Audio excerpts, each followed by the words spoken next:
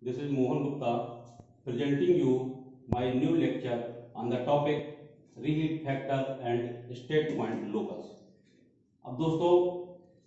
ये जो टॉपिक मैं आपको बताने जा रहा हूँ, वैसे तो ये टॉपिक बहुत ही टिपिकल होते हैं समझने में, लेकिन मैं आपको बहुत ही आसान तरीके से बताने की कोशिश करता हूँ। तो hope you will enjoy this lecture और ध्यान से देखिएगा। तो सबसे पहले मैं बात करता हूँ रिहीट फैक्टर की।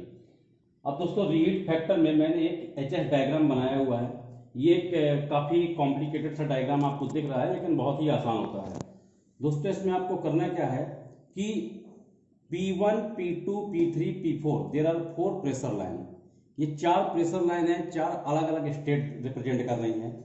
इसको हमने एक इनिशियल टेम्परेचर T1 ले लिया है और इसी टेम्परेचर पे हम ये वर्क कर रहे हैं। साथ ही साथ एक कंडीशन लाइन मैंने बनाई हुई है जिसमें A1, A2, A3, A4 लिखा हुआ है। दोस्तों अपने को करना क्या है कि दरअसल रीहीट फैक्टर जो होता है that is cumulative heat drop upon isentropic heat drop होता है। दोस्तों, जो इसमें आइसेंट्रोपिक हीट ड्रॉप होता है, वो होता है ए वन डी जो आपको एक स्टेट लाइन दिख रही है। इन चारों प्रेशर लाइन को कट करती हुई, चारों स्टेट को कट करती हुई आपको एक लाइन ड्रा कर देनी है वर्टिकल स्टेट डाउनवर्ड लाइन और उसके बाद एक कंडीशन लाइन है, जो कि A one A two A three A three A four से रिप्रेजेंट की जाती है। दोस्तों, इसमें है क्या? कि जो कंडीशन लाइन है वो ए, हर एक state P1, P2, P3, P4 को जिस पॉइंट पे कट करती है आपको उस कट से वर्टिकल लाइन ड्रा कर देनी है सभी से। तो जैसे यहाँ पर आप P1 से P2 की वर्टिकल लाइन देखेंगे तो आपको दिखाई देगा A1, B1 दोस्तों अगर आप P2 की और P3 जो P2 और P3 आपको स्टेट दिख रही हैं। या मतलब प्रेशर P2 और प्रेशर P3 पे जो स्टेट दिख रही है, यहाँ से वर्टिकल लाइन दिख ड्रा करेंगे कट पॉइंट से तो ये टू B2 दिखेगी। और ऐसे ही P3 और P4 में जो आप वर्टिकल लाइन ड्रा करेंगे जैसे A3 A3 पॉइंट पर P3 को कट करते हैं हम कंडीशन लाइन से तो यहाँ से आप एक वर्टिकल लाइन ड्रा कर देंगे तो ये A3 B3 एक लाइन दिखेगी। तो आप देख रहे हैं कि आपको हर एक स्टेट में जो क्यूमुलेटिव हीट ड्रॉप दिख रहा है, वो A1 B1 अगले में A2 B2 अगले में A3 B3 ये होते हैं दोस्तों क्यूमुलेटिव हीट ड्रॉप और जो आइसेंट्रोपिक हीट ड्रॉप होता है या टोटल हीट ड्रॉप होता है, वो A1 से D होता है। और दोस्तों जो रीहीट फैक्टर होता है that is the ratio of cumulative heat drop to the isentropic heat drop अब दोस्तों जो क्यूमुलेटिव हीट ड्रॉप है, वो आपको बताया गया कि स्टेट वन से स्टेट टू के बीच का हीट ड्रॉप क्या है? ए वन बी वन तो आपने यहाँ ए वन बी वन लिख दिया। उसके बाद जब स्टेट टू और स्टेट थ्री की बात करते हैं तो इसका जो क्यूमुलेटिव हीट ड्रॉप है वो ए टू और बी टू है। तो आपने plus A two B two कर दिया। और ऐसे ही स्टेट थ्री और स्टेट फोर का जो हीट ड्रॉप है वो ए थ्री बी थ्री है। तो प्लस आपने ए थ्री बी थ्री कर दिया। तो ये टोटल क्यूमुलेटिव हीट ड्रॉप आ गया सामने। और उसके बाद टोटल आइसेंट्रोपिक हीट ड्रॉप क्या होता है दोस्तों? ए वन से डी तो ए वन डी आपने मेंशन कर दिया। तो जो रीहीट फैक्टर हुआ that is the total cumulative heat drop to the total isentropic heat drop और जो टोटल क्यूमुलेटिव हीट ड्रॉप होता है वो A one B one plus A two B two plus A three B three upon A one D ये जो होता है that is the isentropic heat drop और इनका जो रेशियो होता है, उसे हम बोलते हैं रीहीट फैक्टर और इसे शॉर्ट ग्रुप में लिख सकते हैं हम. Summation of A B summation of A B means कि हर एक स्टेज के बीच का जो क्यूमुलेटिव हीट ड्रॉप होगा, उनका sum upon A one D that is the total isentropic heat drop तो इस तरह से आप रीहीट फैक्टर को डिफाइन कर सकते हैं एक्सप्लेन कर सकते हैं? It is the ratio of cumulative heat drop to the isentropic heat drop cumulative heat drop her state का आपने हीट ड्रॉप मेंशन कर दिया। That means A1 B1 A2 B2 A3 B3 इनका सम हो गया अपॉन A1 D. तो दोस्तों I hope you can understand it the reheat factor now अगला पॉइंट है that is the state point locus दोस्तों स्टेट पॉइंट लोकस को explain करने के लिए मैंने फिर एक डायग्राम बनाया है, जो कि एच एस डायग्राम है। और इस एच एस डायग्राम में अगर आप ध्यान दें तो मैंने one two three four five pressure line drop की है। ड्रॉ की सॉरी तो P1, P2, P3, P4, P5 these are the pressure line at different state. अब दोस्तों इसमें होता क्या है कि सिमिलरली जैसे आपने इसमें आइसेंट्रोपिक हीट ड्रॉप ड्रा किया था वैसे ही इसमें एक आइसेंट्रोपिक हीट ड्रॉप ड्रा कर देना है। इसको हमने वन से सिक्स नाम दिया हुआ है।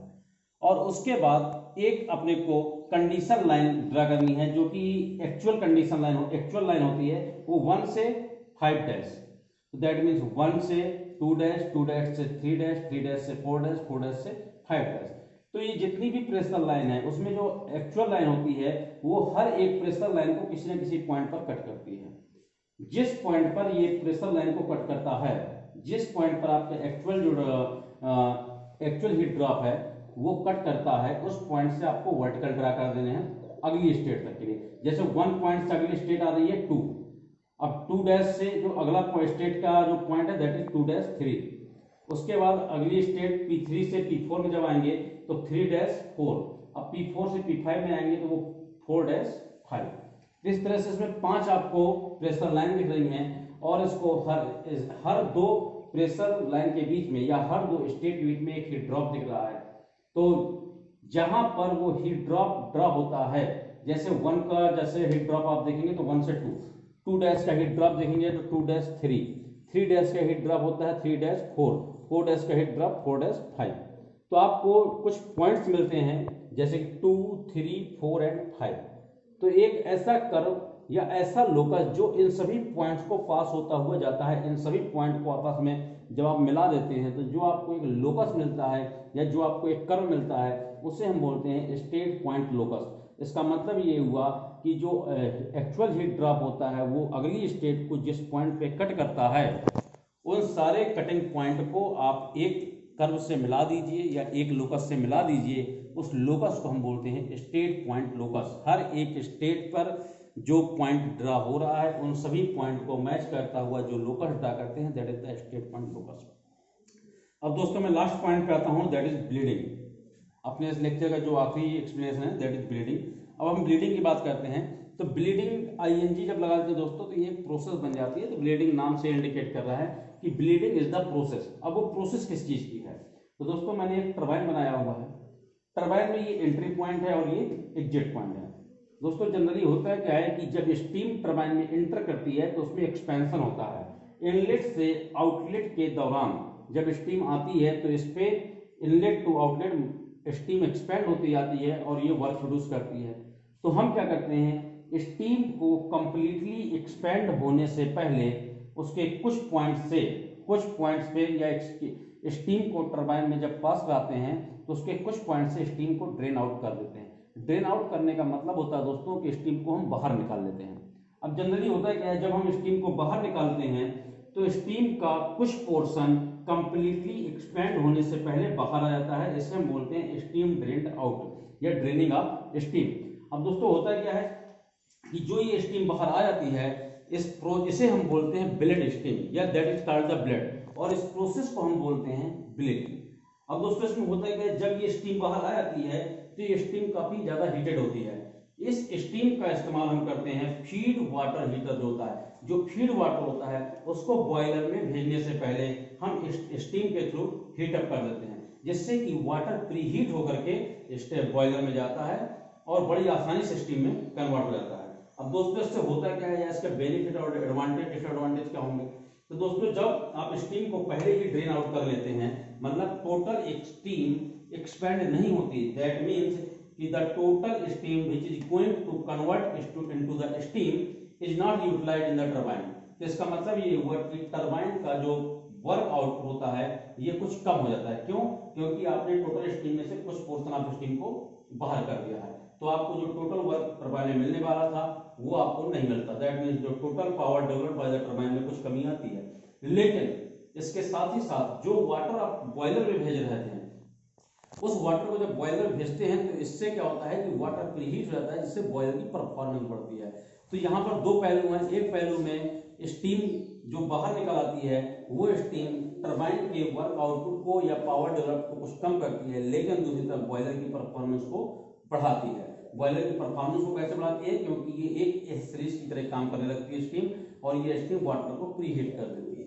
तो दोस्तों इस तरह से आप बड़े आसानी से समझ सकते हैं कि ब्लीडिंग क्या है bleeding is the process of draining out the steam before its complete expansion and this process is called the bleeding and the amount of steam which comes out before expansion that is called the pellet steam तो दोस्तों मैं उम्मीद करता हूँ कि आपको bleeding समझ में आया होगा स्टेट पॉइंट लोकस समझ में आया होगा रीहीट फैक्टर समझ में आया होगा और दोस्तों ये देखा जाए तो आपके एग्ज़ाम में शॉर्ट आंसर के रूप में अक्सर एग्ज़ाम में आपसे पूछ जाते हैं सेमेस्टर एग्ज़ाम में पूछ जाते हैं कंपटीशन वगैरह में ही पूछ जाते हैं तो hope you can understand you will will understand about these topics So if you like this lecture, so please like and share this. Thank you.